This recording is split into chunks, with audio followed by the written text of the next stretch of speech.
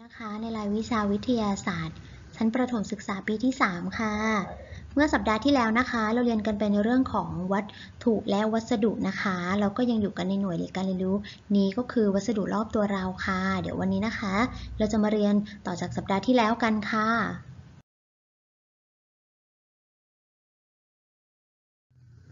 ผังการผังสาระการเรียนรู้นะคะ ก็คือในเรื่องวัตถุรอบตัวเรานะคะ เราจะเรียนด้วยกัน 2 เรื่องก็คือ เรื่องที่ 1 วัตถุที่ทำจากชิ้นส่วนย่อยชนิดเดียวกันประกอบกันค่ะ และก็การเปลี่ยนแปลงของวัสดุเมื่อทำให้ร้อนหรือเย็นนะคะ ในวันนี้เรียนเรื่องแรกก็คือ วัตถุที่ทำจากชิ้นส่วนย่อย ชนิดเดียวกันนำมาประกอบกันค่ะ ตัวชี้วัดนะคะ เมื่อนักเรียนเรียนจบบทเรียนนี้แล้ว นักเรียนจะต้องอธิบายได้ว่า วัสดุประกอบขึ้นจากชิ้นส่วนย่อยๆ เนี่ย ซึ่งสามารถแยกออกจากกันได้ และประกอบเป็น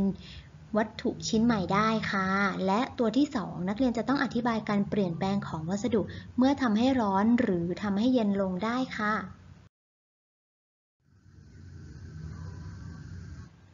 ทบทวนวัสดุกันอีกสักนิดหนึ่งนะคะ ก็คือ วัสดุมีหลายชนิดค่ะนักเรียน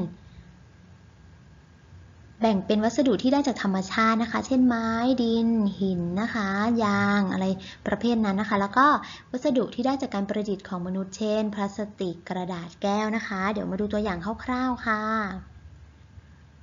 วัสดุที่มาจากธรรมชาตินะคะ เช่นไม้ ดินค่ะ และวัสดุที่มนุษย์ประดิษฐ์ขึ้นหรือสร้างขึ้นก็คือแก้วค่ะ ตัวอย่างนะคะ กระดาษและก็พลาสติกค่ะ รู้จักกับวัตถุและก็วัสดุกันไปแล้ว ทีนี้เราต้องมาดูสมบัติของวัสดุกันบ้างค่ะ สมบัติของวัสดุคืออะไรก็คือลักษณะเฉพาะตัวของวัสดุชนิดนั้นๆค่ะ เช่น วัสดุชนิดนี้มีความแข็งแรงมากๆ แต่ไม่มีความเหนียว ไม่มีความเรียบวัสดุชนิดนี้มีความเหนียวแต่ไม่มีความแข็งนะคะ นี่คือสมบัติของวัสดุค่ะ เช่น การยืดหยุ่น ลักษณะผิวสัมผัสที่ไม่เหมือนกัน น้ำหนัก การซึมผ่านของน้ำ การนำไฟฟ้า การนำความร้อนนะคะ ซึ่งสมบัติเหล่านี้เนี่ยวัสดุแต่ละชนิดจะมีไม่เหมือนกันค่ะ ค่ะ นักเรียนเรามาเข้าหัวข้อที่เราจะเรียนกันเลยนะคะ ก็คือ วัตถุที่ทำจากชิ้นส่วนย่อยชนิดเดียวกันประกอบกันค่ะ สิ่งของรอบตัวเรานะคะมีอยู่มากมายหลายชนิดเลย นักเรียนเคยสังเกตบ้างหรือไม่ว่าสิ่งของบางชนิดนะคะ เกิดจากการนำวัสดุหลายชนิดเนี่ยมาประกอบเข้าด้วยกันค่ะ เช่น โครงสร้างรถทำมาจากโลหะและพลาสติกนะคะล้อทำมาจากโลหะ และยางรถจักรยานยนต์ รองเท้ากีฬา ตัวรองเท้าทำจากผ้า แต่พื้นรองเท้าทำจากยางค่ะ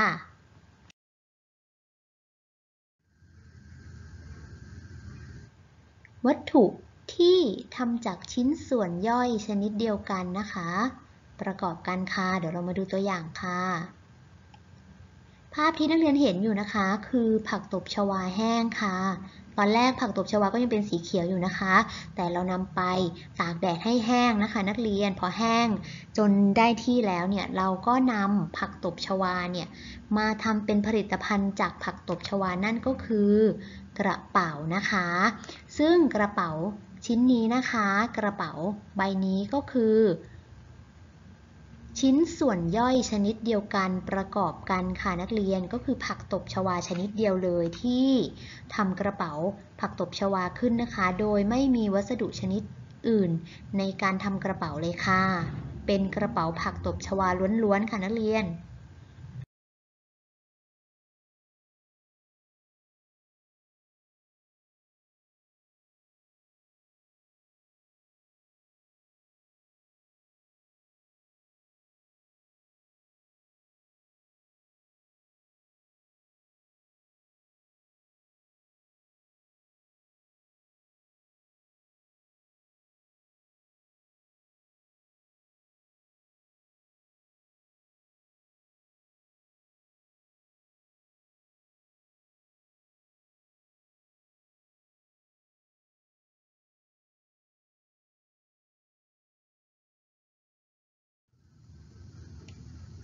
อีกสักหนึ่งตัวอย่างนะคะ นี่คือกำแพงบ้านที่มีก้อนอิฐหลายหลายก้อน ประกอบเข้าด้วยกันค่ะ ซึ่งบ้านหลังนี้นะคะทำมาจากก้อนอิฐค่ะนักเรียน ก้อนอิฐเนี่ยไม่เพียงจะสร้างบ้านได้อย่างเดียวนะคะ ถ้าเรานำมาเรียงต่อๆกันเห็นไหมคะ ก็จะกลายเป็นทางเดิน กลายเป็นพื้นทางเดินได้เลยค่ะ ค่ะ เดี๋ยวเรามาดูกันนะคะ วัตถุที่ทำจากชิ้นส่วนย่อยหลายชนิดมาประกอบกันค่ะเมื่อสักครู่นะคะก็คือวัตถุที่ทำจากชิ้นส่วนย่อยชนิดเดียวค่ะมาประกอบกันนะคะ แต่นี่จะเป็นชิ้นส่วนย่อยๆ หลายชนิดมาประกอบกันค่ะ ภาพนี้นะคะเป็นภาพรถจักรยานยนต์นะคะ สังเกตไหมคะว่า วงกลมแรกเลยก็คือโครงสร้าง ทำจากโลหะและพลาสติกนะคะ ส่วนล้อทำจากโลหะและยางนะคะ ซึ่งก็หมายความว่ารถจักรยานยนต์คันนี้เนี่ยทำมาจากวัสดุหลายชนิดค่ะ เช่นยาง โลหะ พลาสติกนะคะ เราจึงเรียกว่าทำมาจากชิ้นส่วนย่อยหลายชนิดมาประกอบกันค่ะอีกหนึ่งตัวอย่างนะคะ ก็คือนี่เลยค่ะรองเท้าผ้าใบที่นักเรียนใส่มาโรงเรียนนะคะ วงกลมแรกก็คือตัวรองเท้าเนี่ยจะทำจากผ้าค่ะนักเรียน ส่วนพื้นรองเท้าจะทำจากยางค่ะ ซึ่งเป็นชิ้นส่วนย่อยๆ ของวัสดุนะคะ หลายชนิดมาประกอบกันนะคะ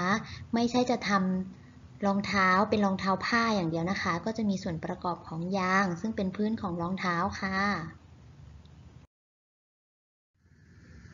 ค่ะ จากที่ได้เรียนมาในคลิปวิดีโอนี้นะคะ เราก็จะมาสรุปสั้นๆ ให้เข้าใจได้ง่ายดังนี้ค่ะ สิ่งของรอบๆตัวเรานะคะ นักเรียนมีมากมายหลายชนิดเลยนะคะ ซึ่งบางอย่างเนี่ยทำมาจาก วัสดุแค่ชิ้นเดียว เช่น ผักตบชวานะคะ กระเป๋าจากผักตบชวาก็จะทำมาจากผักตบชวาเพียงแค่อย่างเดียว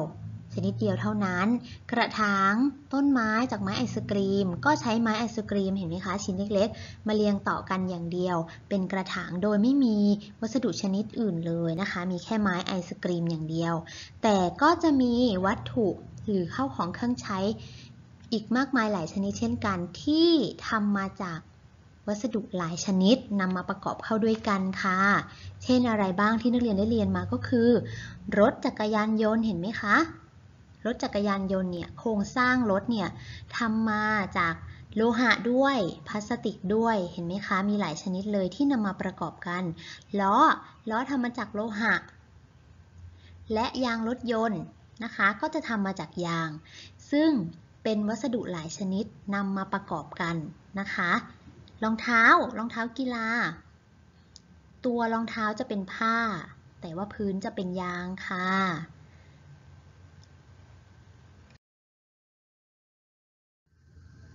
สำหรับใน EP 2 นี้นะคะ นักเรียนก็จบลงไปแล้ว ซึ่งเราจะเรียนในหัวข้อวัตถุนะคะที่ทำมาจากวัสดุชิ้นย่อย ชนิดเดียวมาประกอบกัน และหลายชนิดมาประกอบกันค่ะ แล้วพบกันใหม่นะคะ ใน EP ต่อไปซึ่งก็จะเหลืออีกหนึ่งเรื่องนะคะสำหรับบทเรียนนี้สำหรับวันนี้นะคะ ก็ขอให้นักเรียนทุกคนตั้งใจเรียนแล้วก็อ่านหนังสือทุกวันนะคะ สวัสดีค่ะ